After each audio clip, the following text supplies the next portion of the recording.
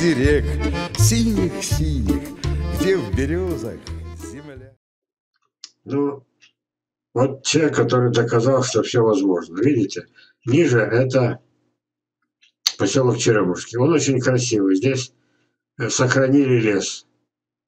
Летом особенно. Здесь растут прямо на улицах ранетки, сибирки.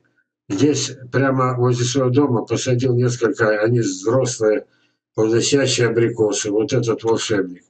Борис Ильич Бондар, низко кланяюсь тебе мой друг и чем я горжусь. Мой друг и Царство Небесное уже небесный житель. Никогда не поверю, что могила и на этом все. Ника, что распадается личность. Нет, не то, что не поверю, я это знаю. Вот. Просто это была последняя фотография, которую я сделал. Вот это, вот, он сказал мне, это все, это мой последний привет. Вот. Вот эти вот уникальные черенки черешни. Вот что я хотел сказать. Вот это чудо. Да, вот она река. А вы думаете, он начал, когда только перекрыли? Когда перекрыли, и все, я к нему поехал, я у него черешню уже ел. Это было до перекрытия. Вы понимаете, в чем подвиг-то? Не удалось никому. Если эти брянские ученые черешневеды, черешневоды с помощью бесконечных обрезок уничтожают морозостойкость и иммунитет черешин, как они могли их двигать на север? Это невероятно. Я вам показывал эти фотографии. Это ужас. Как можно с каждого яруса из 8, 5, 5, а посчитала на каждом ярусе 5-8 скелетных веток. На каждом ярусе и надо оставить три, остальные на кольцо. Какая морозостойкость! И тут же жалобы, то замерзнет, то замерзнет, то замерзнет, то замерзнет. А почему она не поняла, что вот эти раны, это есть причина? Как так? Тут не надо быть металлургом и не надо быть этим самым э, президентом Академии наук. Мне кажется, я президент Академии наук был, он наверняка, там, может быть, животновод был. Мог быть. Конечно, мог быть, это же наука.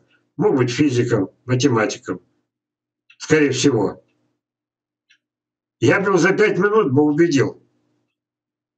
У людей-инвалидов э, мерзнут шрамы. У меня был такой приятель. Ноги все в этих иссечены. Сплошные шрамы, хромал обе ноги. Как они у него мерзнут? А почему же непонятно-то? Ведь это такая же жизнь. Мы же все одной крови, мы и деревья. Вот мне это наболело. Ладно сказать, да, тут есть какое-то это преимущество. Здесь 35-то редко бывает. Вот. Но он-то в горах выше. Это раз. А у него уже плоды были еще до заполнения. Это как вы можете увязать? И книги есть, статьи есть. Да, что-то подмерзало. Иногда подмерзало. И мне рассказывал. И два тома вот таких вот Мичурина. Это, говорит, моя Библия. А?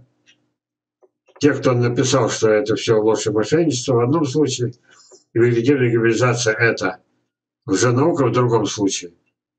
Как можно цитировать то, что было сто лет назад? В 30 году, ну? Чем сто лет занимались? -то? Вот кому надо было ехать.